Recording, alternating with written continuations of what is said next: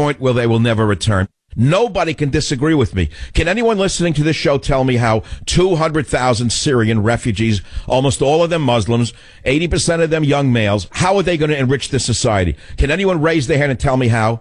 Can you tell me how they're going to enrich the society? And can you also tell me why the psycho in the White House is not bringing in Syrian Christians, including some who are here already begging to be able to stay, allowed to stay here? Tell me why he's kicking the Christians out and bringing the Muslims in. Tell me why he wants more mosques and less churches. Tell me why. You can figure that out? You can't figure out what he's doing to your country? How do you let it happen? Uh, but we have trouble in the country. We all know that. But how many times can I say the same thing about the psycho in the White House? The man is an out of control psychopath. He knows that most Americans do not want the country flooded with immigrants to begin with. So now he triples down. Not only is he saying we're having more from Central America and Mexico, but now to top it off, he's bringing in 200,000 Muslim men from Syria. What sane country permits this without stopping the man in his tracks? They call him out. They throw him out. They make the Democrat Party stop it before it's too late. Why am I wrong in saying that? England has just said no to the EU demands that they take in hundreds of thousands of more young Muslim refugees. Why are so many men being brought in to the European nations? And who are the quislings in the EU who want to flood Europe with young Muslim men? Why are they bringing the armies in? They think they'll spare them at the end?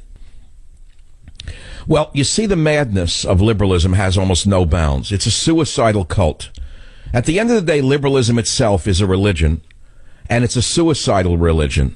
Everywhere you turn, Jerry Brown signing a euthanasia bill and acting as though it's something wholesome and good for the people. We know what it is.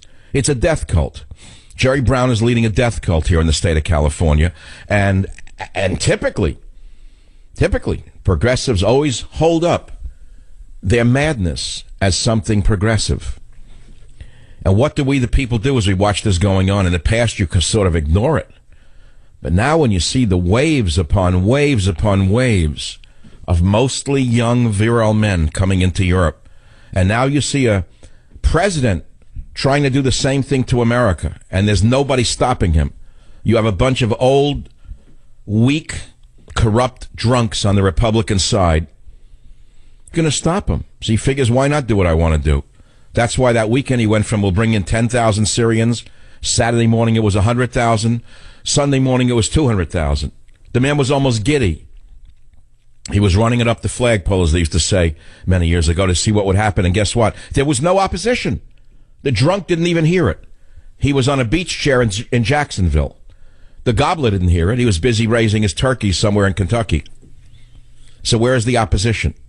Ah, the people, they don't matter. We have no power. When did the people ever have power in a nation? Tell me when the people of a nation ever had power. Stop living in the fantasy world of the colonies. Arabic is fastest growing language in the USA by Julia Hahn of Breitbart. From Breitbart again, Le Pen, Europe's migrant flood equals barbarian invasions of the fourth century. From Fox News, ISIS touts baby boom as key to caliphate's future. Did you know that's what's going on? Did you know that these seventh century throwbacks are raping their way to a population explosion. Did you know that's what they're doing? The black clad Nazi vermin are raping their way across the Middle East and procreating with the captured brides. Not one word from the American goddesses of feminism. How to raise a jihadi baby. Key feature of ISIS publications. Sisters' role in jihad. There's a picture of an infant in a cradle lying next to a pistol and a grenade. And in this country, we have a psychopath in the White House who wants to take away your right to bear arms. Let me tell you something. There was an actor a long time ago who said, You'll have to pry it out of my cold, dead hands. That should be your motto. Never give up your weapon. Never give up your weapon to one of the Nazis in this government. Never!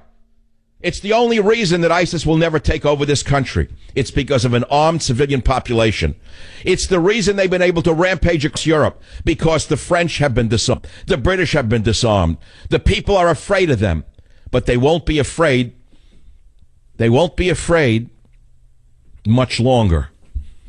They won't be afraid much longer because the revolution is brewing in Europe.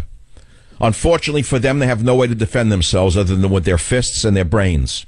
And that is because the Obamas of Europe have stolen their guns a long time ago, as they have in Australia, by the way. When a nation takes its masculine pride and attempts to deball it at every turn by drugging it, by debasing it, by inhibiting it, tell me how that nation can survive. No nation in history has ever done to itself what this nation is doing to itself right now. There's no one who can disagree with me. None. If they do, they're mentally insane. When you see article after article telling people who are white to be ashamed of their race by people who claim not to be racist, if that's not insanity, tell me what is. When you see radical, sick feminists attacking boys and saying large muscles is a sign of aggression, tell me if that's not mental illness. Tell me what is going to be required to save this nation from its own self destruction. This is a nation that is in the deep throes of an illness. It'd be too easy to call it a mental illness, which I've done in, in 2005 or 6 with liberalism as a mental disorder. I have I've redefined the illness America is suffering from as an autoimmune disease. America is suffering the equivalent of political AIDS. It is an autoimmune disease where a retrovirus has invaded the country and has encrypted itself into the DNA of the nation, has replicated itself, and is destroying the nation from within. They're called the Democrat Socialist Party. That is the virus that has invaded this country, that is destroying the nation from within. I'll Be right back.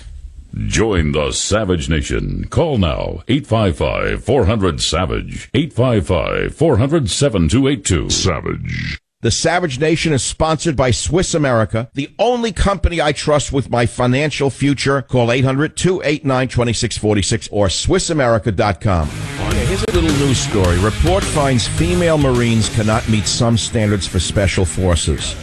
Now, if you had a commander in chief who really cared about the military, he would look at this report and say, all right, some of the women are really brave. They're strong, but they can't cut it in special forces. We're not going to destroy those units because we cannot impose this upon them without lowering the standards and raising the risk of uh, men dying.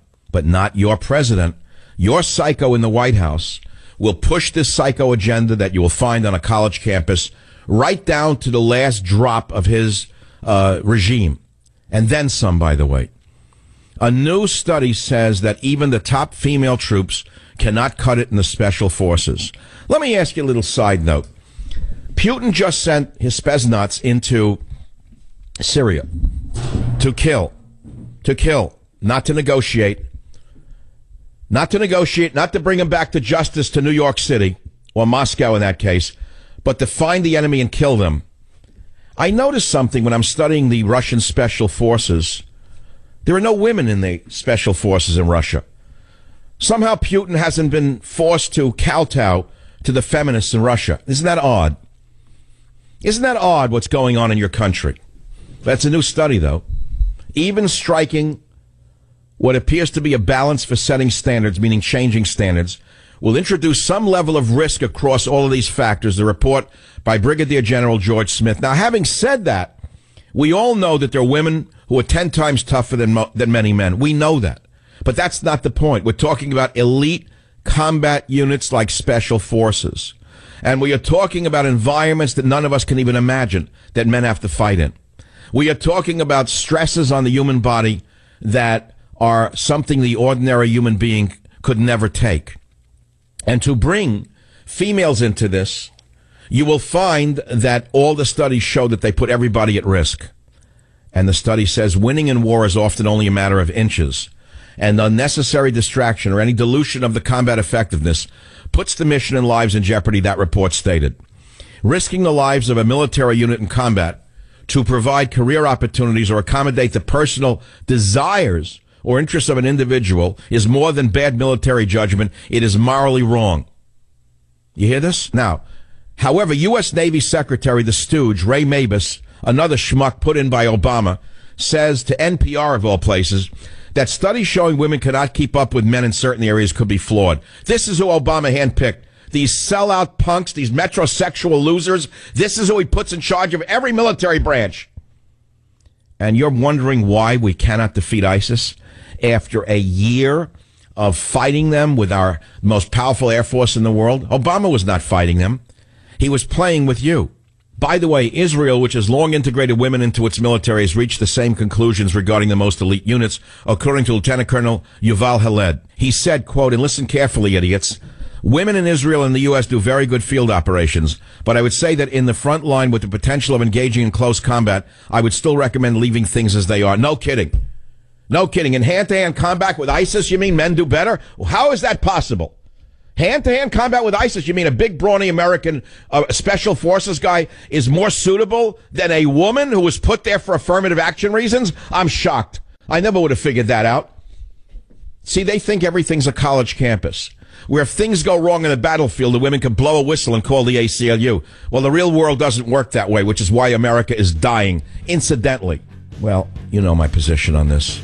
Look how I'm going to end the hour. Listen to this headline Nurse giving workplace flu shots reuse syringes. That's very encouraging. West Windsor, New Jersey. A nurse administering flu shots to dozens of employees of a pharmaceutical company. Reuse syringes, the State Department of Health said Wednesday. Now, a State Department of Health in New Jersey is not an oxymoron. It's a, it's a laugh line for Seinfeld. Then they go further. There's a low risk of infection. How can it be a low risk of infection if they use the same needle over and over again on people? What, to me, it's a high risk of infection. But we have such a corrupt CDC, they're nowhere to be found. Savage.